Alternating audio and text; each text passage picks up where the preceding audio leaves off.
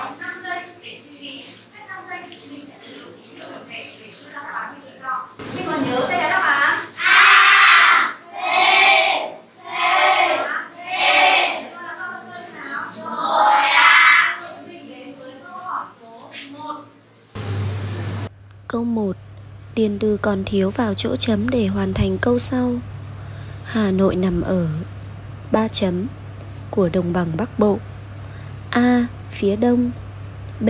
Trung tâm C. Phía Tây D. Phía Nam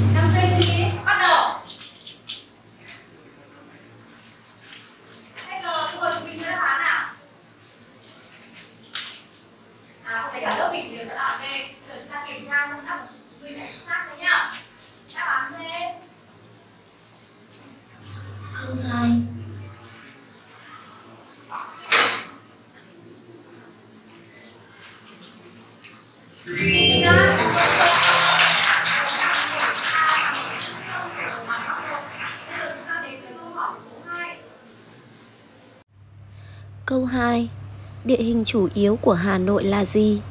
A. Đồi núi thấp B. Đồng bằng C. Trung du D. Cao nguyên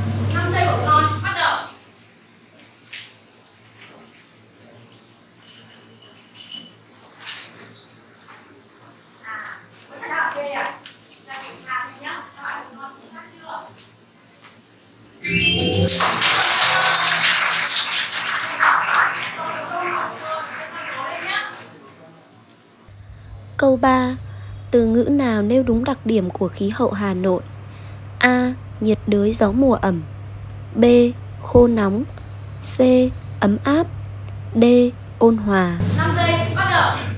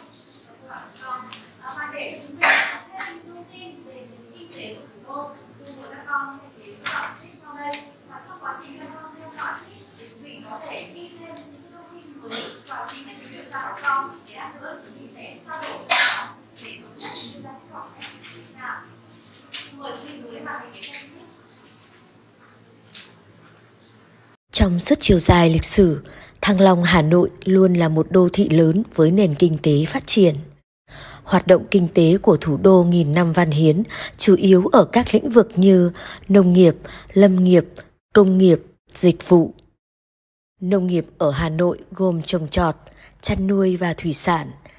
Nằm ở trung tâm đồng bằng Bắc Bộ, nhờ nguồn nước dồi dào với lượng phù sa màu mỡ của sông Hồng và sông Đuống đã cung cấp một lượng lớn rau, các loại trái cây như bưởi, cam, chuối, ổi và các loại cây lương thực như lúa, ngô.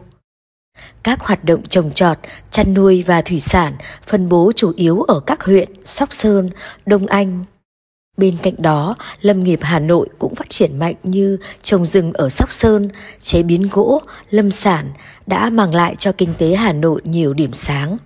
Nói đến các hoạt động kinh tế ở Hà Nội, không thể không nhắc đến lĩnh vực công nghiệp được phân bố ở hầu khắp các quận huyện thuộc thành phố.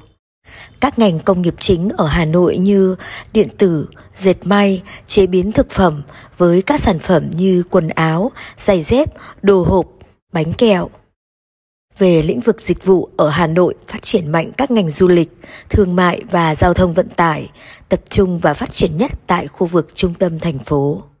Với ẩm thực phong phú, các tour du lịch có sức hút như tour đêm tại Hoàng thành Thăng Long, di tích tại nhà tù Hỏa Lò, các trung tâm thương mại lớn như Bixi, Ion cũng đem lại diện mạo mới cho thủ đô Hà Nội.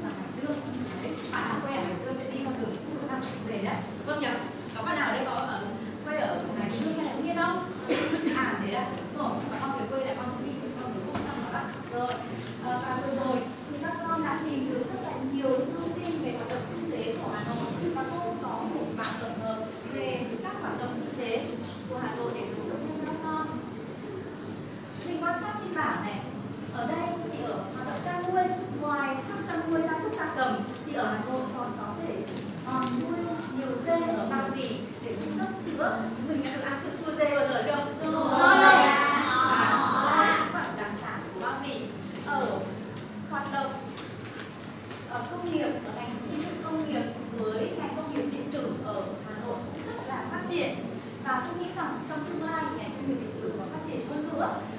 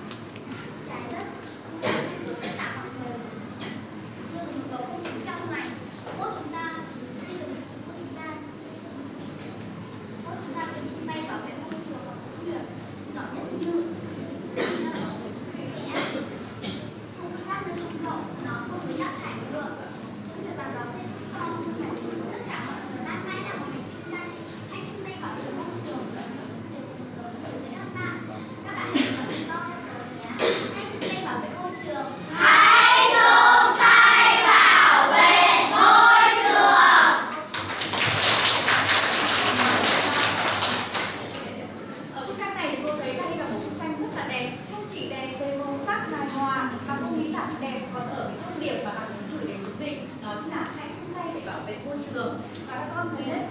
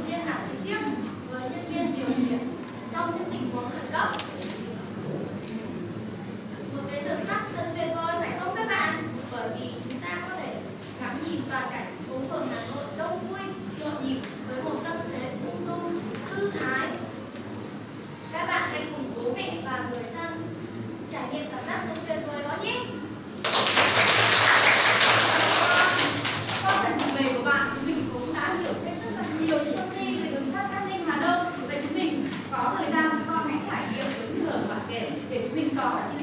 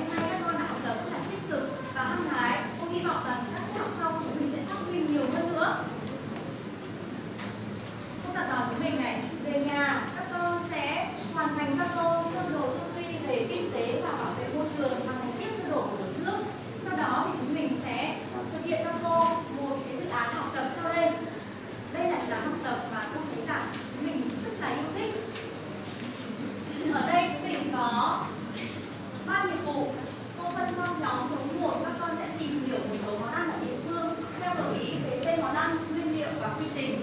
Nếu như có điều kiện thì mình có thể học cách làm